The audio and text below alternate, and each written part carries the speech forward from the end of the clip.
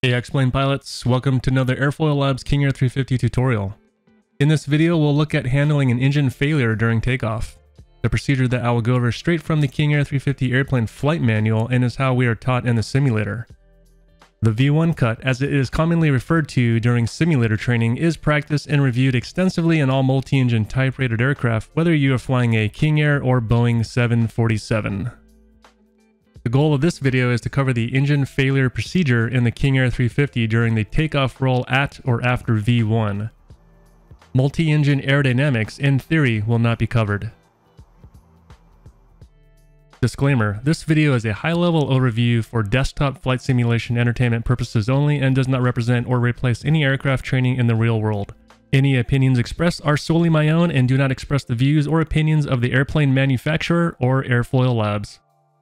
We are lined up on runway 30 left at the San Jose International Airport in California.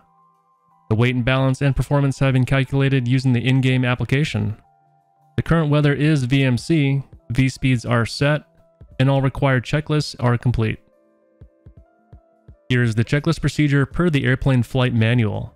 You'll notice the first four steps are bold-faced, which implies they are memory items or immediate action items. These must be done in a timely fashion by memory without reference to a checklist following the relevant failure. Alright, let's get going.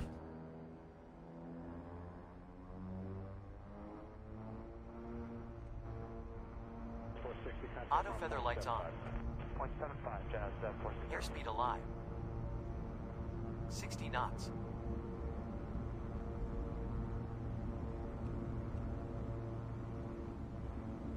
Without looking at the engine gauges, we should be able to recognize which engine has failed by the yawing moment and quickly react accordingly by applying the appropriate rudder input to maintain runway heading. And a quick glance at your engine instruments will verify the failed engine. V1. Rotate. At VR, slowly rotate the aircraft to approximately 10 degrees pitch up. V2.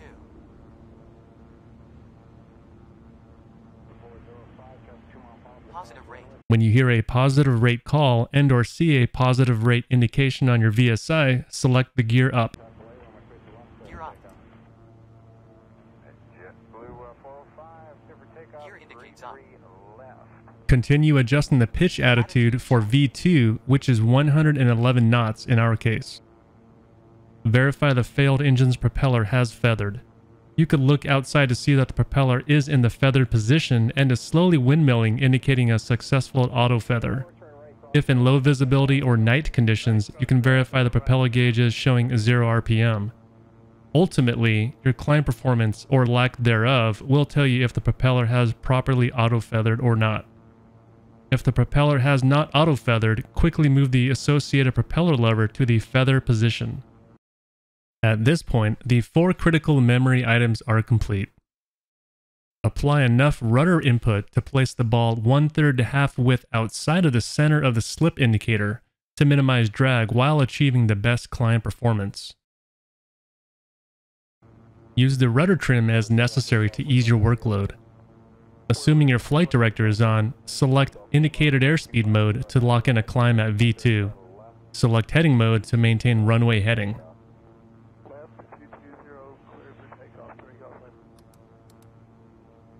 At 400 feet AGL above ground level, slowly lower the nose a few degrees and let the airplane accelerate to 125 knots. If your takeoff involved flaps set to approach, raise the flaps at a minimum airspeed of V2 plus 9.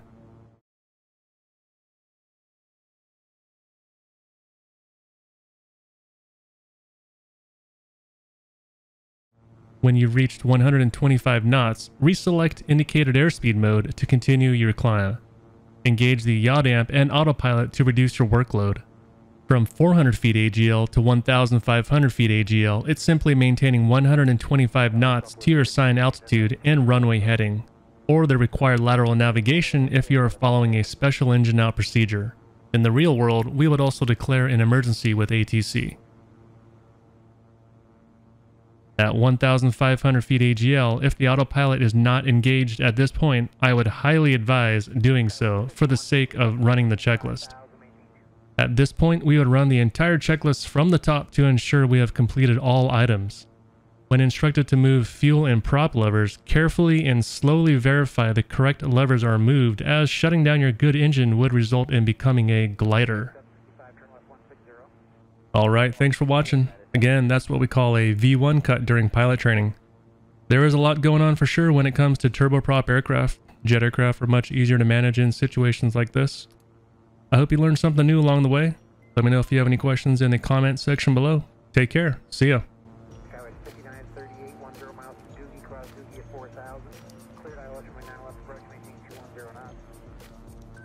Doogie 4000 ILS,